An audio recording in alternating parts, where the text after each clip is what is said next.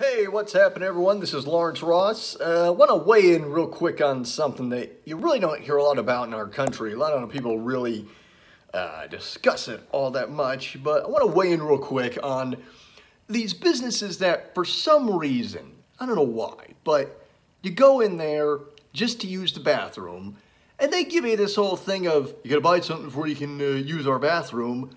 Now, come on. Let's let's let's let's take a look at that, okay? I get a couple of issues with this. I mean, what if, what if the individual doesn't want to buy anything? What? They just want to use the bathroom. Why, why does this particular store, why does it seem like they care more about the money rather than the customer? They're basic, they're, they're putting the customer's health before uh, profit. Because what if there's a customer who comes in there who is diabetic and desperately needs to filter his or her kidneys because if they don't, they could go into, you know, if you hold in for too long could be bad. If you, if, you know, that sort of thing. I really wish that all businesses that do this would just stop. It's mean. It's torturous is what it is. It, it's like, okay, just enough with that already, okay? Enough.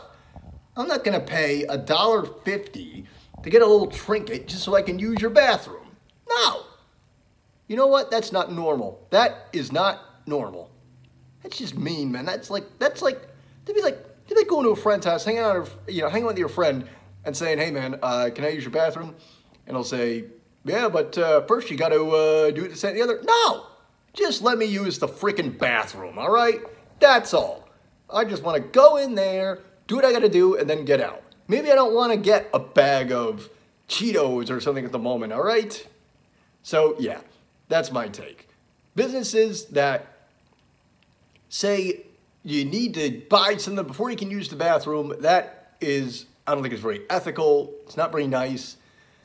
It's very mean. It's very torturous. I don't like it. And I wish that all companies would just stop doing it. I wish they would stop, as I said before, again, as I said, I wish they would stop putting profit before a potential customer health issue.